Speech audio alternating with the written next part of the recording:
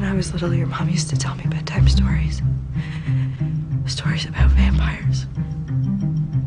I never thought that what she said could be true. You here? You are.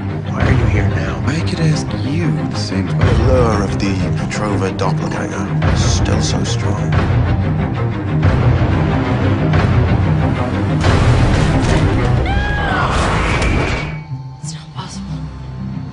It can't be. Open! No!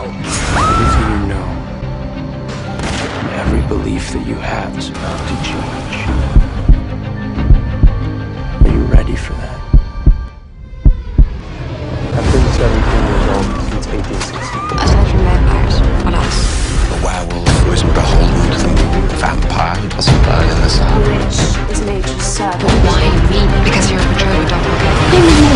because It's not because you came into town or because you and I fell in love. That's not why everyone that I love is endangered. Because of me. Everything is because of me. But there's only so, so much hurt in me to take. I'm not human. And I miss it. I miss it more than anything.